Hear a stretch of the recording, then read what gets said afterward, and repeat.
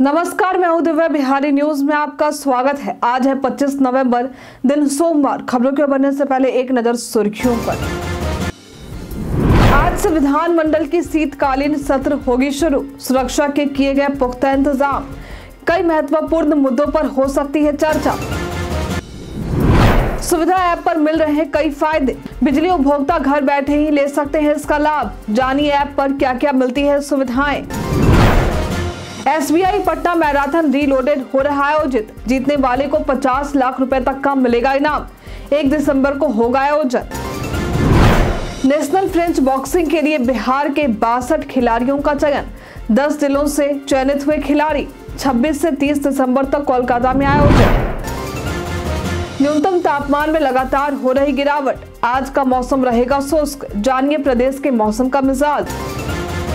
पटना व दरभंगा एयरपोर्ट से शुरू होगी अंतर्राष्ट्रीय उड़ान।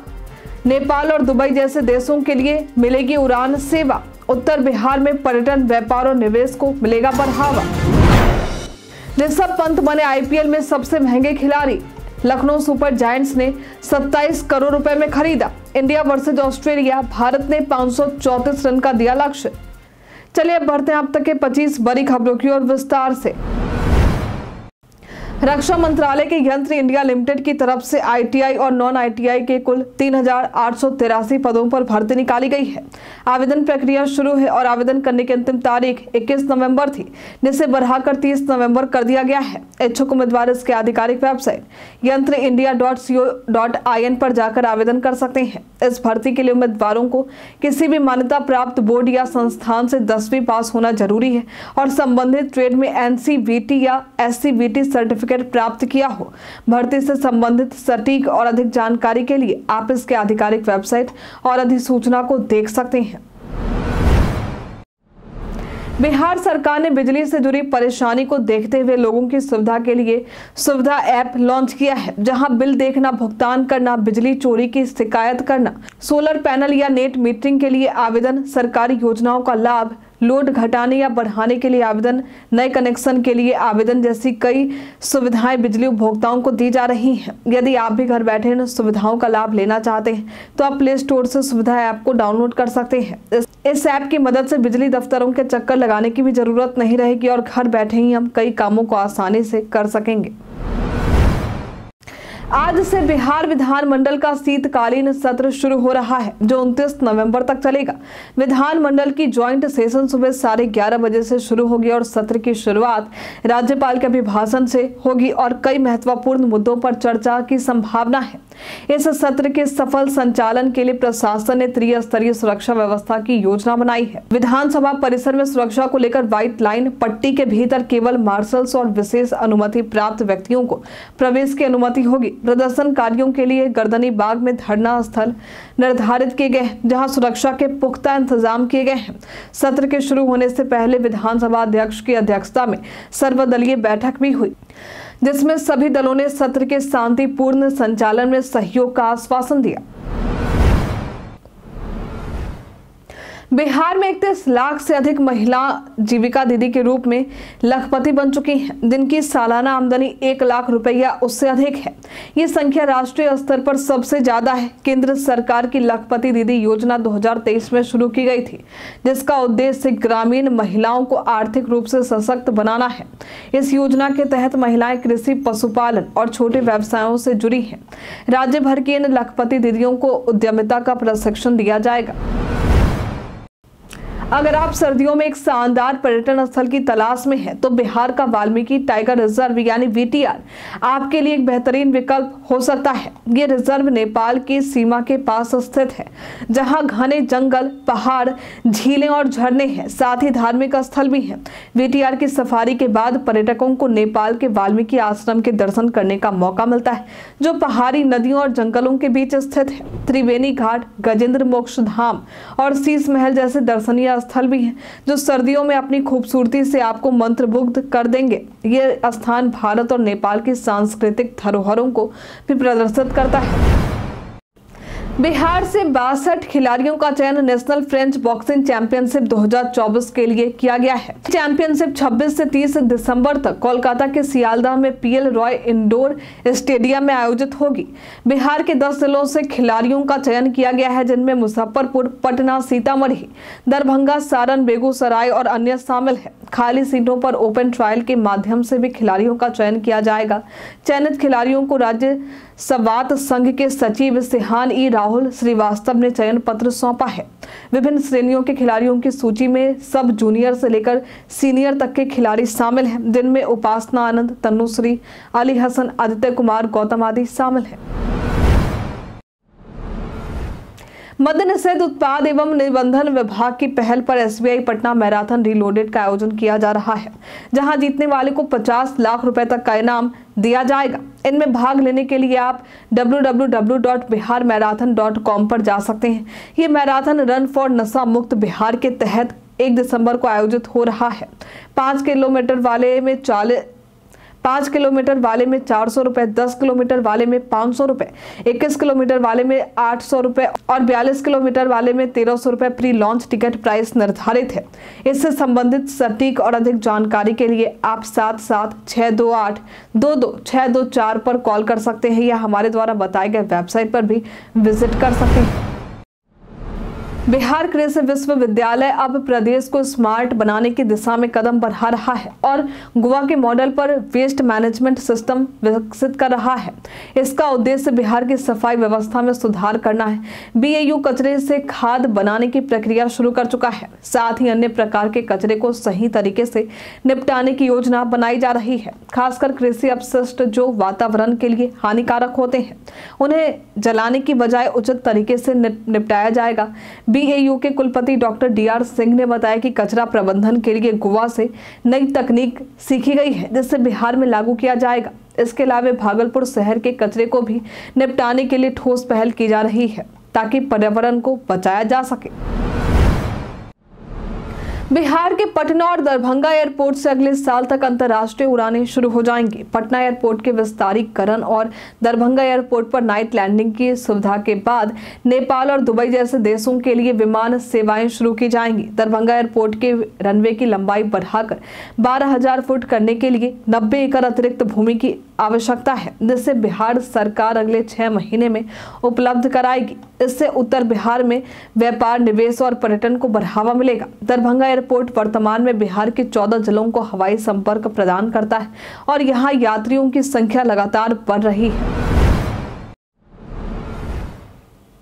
आधार कार्ड में जानकारी अपडेट करवाने के लिए यूआईडीआई ने फ़ीस तय की है, जो आपके द्वारा किए गए बदलाव के प्रकार पर निर्भर करता है। अगर आप आधार कार्ड में बायोमेट्रिक जानकारी जैसे फिंगरप्रिंट और आईडिस अपडेट करना चाहते हैं तो उसके लिए सौ रुपए की फ़ीस लगेगी। वहीं डेमोग्राफिक जानकारी जैसे नाम, पता, जन्म तिथि और लिंक अपडेट करने के लिए पचास रुपए की फ़ीस निर्धारित की गई है। आधार कार्ड में जानकारी अपडेट करना अब एक सामान्य प्रक्रिया बन चुकी है। क्योंकि ये दस्तावेज़ भारत में ज़रूरत के मुताबिक स्कूल से लेकर सरकारी योजनाओं तक उपयोग किए जाते हैं। यूआईडीआई ने ये सिस्टम आसान बनाने के लिए पेश किया है। अगर आप कम बजट में गाड़ी खरीदने की इच्छा रख रहे हैं तो बिहार का गोपालगंज एक बेहतरीन मौका पेश कर रहा है। यहाँ मद्य निषेध और उत्पाद विभाग द्वारा शराब के मामलों में जब्त की गई गाड़ियों की नीलामी जल्द ही होने वाली है। इस नीलामी में bike, scooty, car, truck, pickup, van और साइकिल जैसे कई, कुल तिहत्तर गाड़ियों की नीलामी की जाएगी। नीलामी चार दिसंबर से शुरू होगी और आवेदन दो दिसंबर तक किया जा सकता है। गाड़ियों की शुरुआती कीमत काफ़ी कम रखी गई है। साइकिल की कीमत दो सौ रुपये से, बाइक, स्कूटी कीमत तीन हज़ार रुपये से, कार की कीमत एक दशमलव दो पाँच लाख रुपए से, टाटा कंटेनर ट्रक की कीमत पाँच दशमलव दो शून्य लाख रुपए से शुरू है। आवेदन करने के लिए उत्पाद विभाग के कार्यालय में निर्धारित दर का बीस प्रतिशत डिमांड ड्राफ्ट जमा करना होगा। बिहार के बक्सर ज़िले के चरित्र वन में हर साल नवंबर में पंचकोसी मेला आयोजित होता है, जिसमें पाँच दिनों तक पाँच कोस की यात्रा की जाती है और विभिन्न प्रकार के भोग अर्पित किए जाते हैं। इस मेले का संबंध भगवान श्री राम से जुड़ा है और इसे धार्मिक व सांस्कृतिक दृष्टि से महत्वपूर्ण माना जाता है। रविवार को मेले के अंतिम दिन भगवान श्री राम को लिट्टी चोखा अर्पित किया गया। इस दिन झारखंड हाईकोर्ट के जज ए एन पाठक सहित कई लोग प्रसाद के रूप में लिट्टी चोखा का आनंद लेने पहुँचे थे। ये परंपरा त्रेता युग से चली आ रही है, जब भगवान श्री राम और महर्षि विश्वामित्र बक्सर आए थे। लिट्टी चोखा अब बिहार और यूपी के पूर्वांचल में एक पहचान बन चुका है। बिहारी पहचान में आज हम बात करेंगे कर्पूरी ठाकुर की। इनका जन्म 24 जनवरी वर्ष 1921 को समस्तीपुर ज़िले में हुआ था। ये एक स्वतंत्रता सेनानी शिक्षक। बिहार के दूसरे उप मुख्यमंत्री और दो बार मुख्यमंत्री रह चुके हैं। इन्हें इनकी लोकप्रियता के कारण जननायक भी कहा जाता था। भारत सरकार द्वारा इन्हें भारत के सर्वोच्च नागरिक सम्मान, भारत रत्न से भी सम्मानित किया जा चुका है। सत्रह फरवरी वर्ष उन्नीस सौ अठासी को इन्होंने दुनिया को अलविदा कह दिया। बिहार शिक्षा विभाग ने हाल ही में एक दशमलव एक चार लाख विशिष्ट शिक्षकों को नियुक्ति पत्र प्रदान किया है और तीसरे चरण के सफल उम्मीदवारों की जल्द बहाली का वादा किया है। हालाँकि तीसरे चरण में माध्यमिक और उच्च माध्यमिक शिक्षक भर्ती का परिणाम अभी जारी नहीं हुआ है। इस बीच अतिथि शिक्षकों ने सरकार से अपनी बात सुनने की अपील की है। अतिथि शिक्षक संगठन के अध्यक्ष कुमार संजीव ने बताया कि 2018 में भर्ती किए गए अतिथि शिक्षकों की आयु सीमा 35 वर्ष से अधिक हो चुकी है, जिससे वे परीक्षा में बैठने के योग्य नहीं है। उनका कहना है कि यदि उन्हें चौथे चरण में शामिल नहीं किया गया तो रिक्त पदों पर उनका समायोजन किया जाए। इस साल साउथ ईस्ट एशिया और मिडिल ईस्ट के स्कैम सेंटर से दो मिलियन से ज़्यादा अकाउंट्स फेसबुक की पेरेंट कंपनी मेटा ने बंद किए हैं। ये अकाउंट्स अपराधी संगठनों से जुड़े थे। ये सभी लोगों को धोखा देकर उनके अकाउंट्स का इस्तेमाल गलत तरीके से कर रहे थे। इसमें पिग बोचरिंग स्कैम शामिल है। इस स्कैम में स्कैमर्स लोगों से ऑनलाइन दोस्ती करते हैं और उन्हें क्रिप्टो करेंसी में निवेश करने के लिए मनाते हैं। बाद में उनका पैसा गायब कर देते हैं। मेटा इन धोखाधड़ी गतिविधियों को रोकने के लिए कानून प्रवर्तन एजेंसियों और अन्य कंपनियों के साथ मिलकर काम कर रहा है। इसके तहत डेंजरस ऑर्गेनाइजेशन एंड इंडिविजुअल्स यानी डीओआई नीति के तहत स्कैमर्स के अकाउंट्स पर कार्रवाई की जा रही है और उन्हें हटाया जा रहा है। डाक प्रदर्शनी का पहला दिन पूरी तरह से महिलाओं के नाम होगा, जहाँ महिला सशक्तिकरण को बढ़ावा देने के उद्देश्य से महिलाएँ ही सभी कार्यक्रमों का संचालन करेंगी। मंच संचालन से लेकर अतिथि सत्कार, बैंड टीम की सदस्यता और अन्य गतिविधियों में महिलाओं की भागीदारी होगी। इस प्रदर्शनी का आयोजन 28 से 30 नवंबर तक ज्ञान भवन में हो रहा है, जो लगभग 12 वर्षों बाद राज्य स्तरीय डाक प्रदर्शनी है। पहले दिन पद्म भूषण शारदा सिन्हा पर विशेष आवरण का विमोचन किया जाएगा। साथ ही बिहार की सशक्त महिला नेतृत्व पर पिक्चर पोस्ट कार्ड भी जारी किया जाएगा। इसके अलावा बिहार के नौ शक्ति पीठों को एक पोस्ट कार्ड पर लाकर इसके अलावा बिहार के नौ शक्ति पीठों को एक पोस्ट कार्ड पर लाकर महिला सशक्तिकरण की दिशा में डाक विभाग एक और कदम उठा रहा है। बिहार में इन दिनों लगातार न्यूनतम तापमान में गिरावट देखने को मिल रही है। पछुआ हवा के कारण ठंड में बढ़ोतरी हुई है। बिहार में आज का मौसम शुष्क रहने की संभावना है। प्रदेश में आज का न्यूनतम तापमान अधिकतम जगहों पर 14 से 16 डिग्री तक रहने की संभावना जताई गई है। बिहार में आज का मौसम शुष्क रहने की संभावना है। प्रदेश में आज का न्यूनतम तापमान अधिकतर जगहों पर 14 से 16 डिग्री रहने की संभावना है। वहीं अधिकतम तापमान 26 से 28 डिग्री रहने की संभावना जताई गई है। पुलिस ने पटना के दीदारगंज टोल प्लाजा के पास शराब की बड़ी खेप बरामद की है। पुलिस को सूचना मिली थी कि हरियाणा से शराब का एक बड़ा खेप कंटेनर में छिपाकर लाया जा रहा है। जब कंटेनर की जाँच की गई तो उसमें 248 कार्टन में 2207 लीटर विदेशी शराब मिले, जो पंजाब के मोहाली में निर्माण हो रहे जो पंजाब के मोहाली के बने थे। पुलिस ने चालक को गिरफ़्तार कर लिया जो राजस्थान के बाड़मेर का निवासी है। पूछताछ में ड्राइवर ने बताया कि शराब का खेप पदमा हजारी बाग से लोड किया गया था और उसे दीदारगंज में किसी अन्य व्यक्ति को सौंपना था। पुलिस अब शराब के धंधेबाजों के नेटवर्क का पता लगाने की कोशिश कर रही है। ग्रामीण एसपी भी मामले की जाँच के लिए मौके पर पहुँचे। प्रधानमंत्री नरेंद्र मोदी ने अपने मन की बात कार्यक्रम के 116वें एपिसोड में गोपालगंज की केंद्रीय लाइब्रेरी का उल्लेख किया और कहा कि ये लाइब्रेरी समाज में बड़ा बदलाव ला रही है। यहाँ से छात्रों को प्रतियोगी परीक्षाओं के लिए किताबें मिल रही हैं, जो उनके लिए मददगार साबित हो रही है। प्रधानमंत्री ने छात्रों को किताबों से दोस्ती करने के लिए प्रेरित किया, क्योंकि ये उनके जीवन में सकारात्मक बदलाव ला सकता है। गोपालगंज की इस लाइब्रेरी में बारह गाँवों के छात्र भी आकर किताबें पढ़ते हैं। गोपालगंज के डीएम प्रशांत कुमार ने से पुस्तकालय को और बेहतर बनाने के लिए कई कदम उठाए हैं, जिससे छात्रों को रुझान और बढ़े बिहार उपचुनाव के नतीजों के बाद बीते दिन रविवार को नेता प्रतिपक्ष तेजस्वी यादव अपने पिता लालू प्रसाद यादव के साथ महादेव के दर्शन के लिए उज्जैन रवाना हुए। इस दौरान तेजस्वी यादव ने मीडिया से बातचीत में कहा कि एनडीए 2024 में झारखंड हारा है और 2025 में बिहार बिहार जाएगा। प्रधानमंत्री मोदी के एक हैं तो सेफ़ है, बयान पर पलटवार करते हुए उन्होंने कहा कि भाजपा ही देश को बांटने और नफरत फैलाने का काम कर रही है।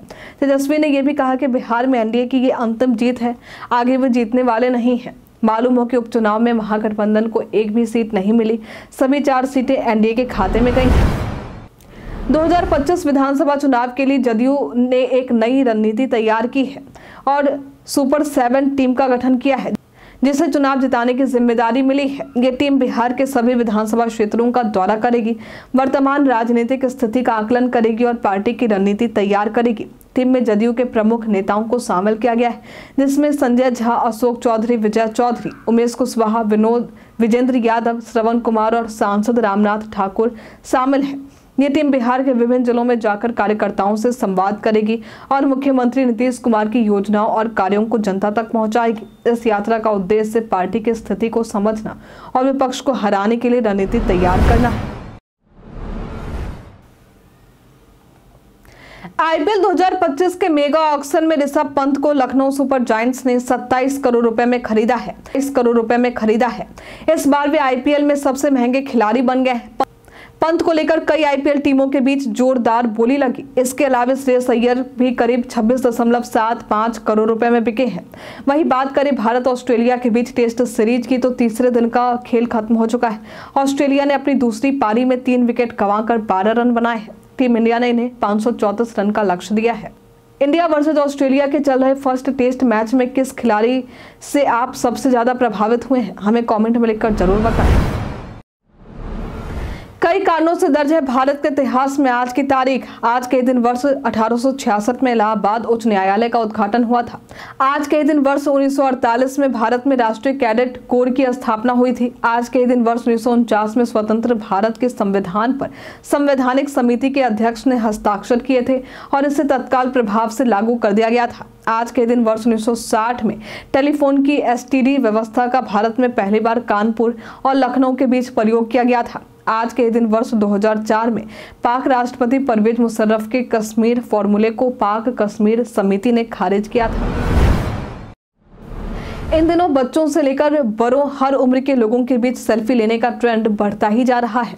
लेकिन सेल्फी लेने का ये शौक और ट्रेंड आपके लिए जानलेवा भी साबित हो सकते हैं। ऐसे काम वही तक करें जो मनोरंजन तक सीमित हो, ना कि जानलेवा बन जाए। कई बार बहुत ऊंचाई से या छत के कोने पर खड़े होकर सेल्फी लेना, रेल पटरी हाथ में बंदूक, थामे या किसी खतरनाक जानवर के साथ सेल्फी लेना, पानी के बीचों बीच नाव में या नदियों की सीढ़ियों पर और सड़क के बीचों बीच सेल्फी लेना, सड़क पर चलते हुए सेल्फी लेना, किसी भी खतरे वाली जगहों पर सेल्फी लेना, जहाँ से गिरने या चोट लगने का डर हो, या अपनी सेल्फी लेने के चक्कर में दूसरों को खतरे में डाल देना। ये सभी गलत है। ऐसी चीज़ें करने से बचें, जिससे आप भी सुरक्षित रहें और आपकी वजह से दूसरों को भी खतरा ना हो। बेटी बचाओ, बेटी पढ़ाओ योजना के नाम पर एक फॉर्म बांटा जा रहा है, जिसमें सभी बेटियों को दो लाख रुपए देने का दावा किया जा रहा। लेकिन आपको बता दें कि ये फॉर्म फर्जी है। ऐसे किसी भी फॉर्म का वितरण अवैध है और इस योजना के तहत किसी भी तरह की प्रोत्साहन राशि नहीं दी जा रही है। इसलिए इस तरह की खबरों पर विश्वास करने से बचे। पीआईबी फैक्ट चेक ने भी इस खबर को शेयर करते हुए फर्जी बताया है। हम प्रतिदिन आपसे पाँच ऐसे ज़रूरी सवाल पूछेंगे और उसका जवाब बताएँगे, जो कि बीपीएससी बिहार पुलिस, दरोगा समेत एसएससी जैसे अन्य प्रतियोगी परीक्षाओं में काम आएँगे। सवाल इतिहास, बिहार स्पेशल विज्ञान करंट अफेयर्स और भूगोल से रहेंगे। पूछे गए पाँच सवालों में आपने कितना सही उत्तर दिया है हमें कॉमेंट में लिखकर ज़रूर बताएँ। तो हमारा पहला सवाल है, हाल ही में अंतर्राष्ट्रीय सहकारिता सम्मेलन का आयोजन कहाँ किया जाएगा? ऑप्शन ए है गोवा, ऑप्शन बी है मुंबई, ऑप्शन सी है नई दिल्ली, ऑप्शन डी है जयपुर। इसका उत्तर है नई दिल्ली। हाल ही में किसने चौदहवें हॉकी इंडिया सीनियर पुरुष राष्ट्रीय चैंपियनशिप जीती है? ऑप्शन ए है Orissa, option B Assam, option C Haryana, option D Uttar Pradesh. इसका सही उत्तर है उड़ीसा। हाल ही में दक्षिण एशिया का सबसे बड़ा समुद्री मंच सागर मंथन कहाँ शुरू हुआ है? Option A Goa, option B है New Delhi, option C Hyderabad, option D है जयपुर, ऑप्शन डी है जयपुर। इसका उत्तर है नई दिल्ली। बिहार में डालमिया नगर किसके लिए प्रसिद्ध है? ऑप्शन है सीसा, ऑप्शन बी है बालू, ऑप्शन सी है कपड़ा, ऑप्शन डी है चमड़ा। इसका सही उत्तर है चमड़ा। पूर्व मध्य रेलवे क्षेत्र का मुख्यालय कहाँ स्थित है? Option A Muzaffarpur, option B है समस्तीपुर, ऑप्शन सी है सोनपुर, ऑप्शन डी है हाजीपुर। इसका सही उत्तर है हाजीपुर। बीते दिन हमारे द्वारा पूछे गए सवाल का आप लोगों में से बहुत सारे लोगों ने अपना जवाब हमें हमारे कमेंट सेक्शन बॉक्स में लिखकर दिया है, जिन्होंने हमारे द्वारा पूछे गए सवाल का जवाब देने के नाम है। सूरज मोहम्मद जेम्स, नागेंद्र धर्मेंद्र चौहान, प्रदीप पंडित अरसद अंसारी, दिलखुश वेद प्रकाश, राजीव कुमार कुश कुमार यादव, रंजीत मिश्रा बिरजू कुमार, कृष्णा प्रसाद, रूबी कुमारी, मोतीलाल कुमार, राजकिशोर महतो, नौसाद रजा गुनर शर्मा, मोहम्मद साकिर हुसैन, विजय खाए इसी के साथ बढ़ते आज के सवाल की और आज का सवाल है, सार्वजनिक सफ़ाई व्यवस्था में सुधार लाने के लिए आप अपने स्तर से क्या पहल करेंगे? आप अपना जवाब हमें कमेंट में लिखकर ज़रूर बताएँ। आज के लिए इतना ही। बिहार के तमाम खबरों के साथ बने रहने के लिए देखते रहे बिहारी न्यूज़। और साथ ही अगर आप यूट्यूब से देख रहे हैं तो चैनल को लाइक करना और सब्सक्राइब करना। फेसबुक देख रहे हैं तो पेज को फॉलो करना ना भूलें। धन्यवाद।